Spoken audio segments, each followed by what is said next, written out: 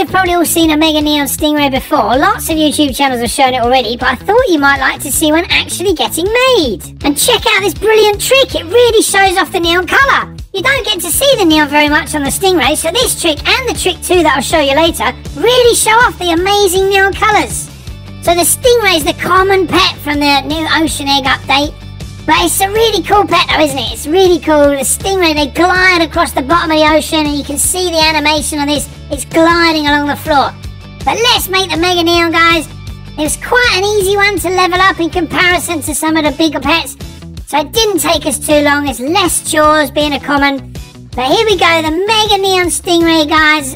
And we've got some of the picnickers with us as well, helping to celebrate to make this Mega Neon Stingray, guys. We've been making all of the pets from the Ocean Egg into Mega Neons. All eight of them being made into Mega Neons are absolutely amazing. And here we go, guys, then the Mega Neon Stingray. There it is. It's coming. Yes, there it is. Look at that. Really cool. Really cool pet. And then look at this trick too, guys. Check out this trick too. It's brilliant. Wow, look at that! Look at that, amazing! It's like around in a circle, absolutely amazing. And there I told you, you get to see those amazing Mega colours really well when it does these tricks. So that's absolutely, and actually you can do this when you're riding it as well. You can do it when you're riding. Let's put a ride potion on it, and then I can I can show you what this looks like when you're riding it as well, guys. It's amazing, honestly, absolutely brilliant. It's like you're flying through the air on this thing. It's really, really cool. Obviously, it's an ocean pet. It would normally be doing that in the water, but Adopt Me has recreated these swimming movements for above the water, guys, on the land.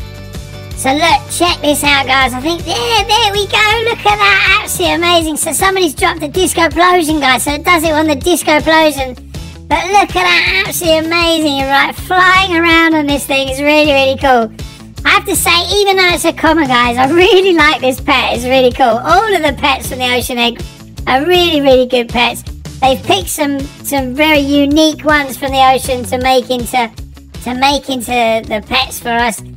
And then look, so you can see when it's on the ground, you don't really get to see much of the mega neon colours underneath, guys. It kind of blends in, and in this dark background as well, you don't really see much at all.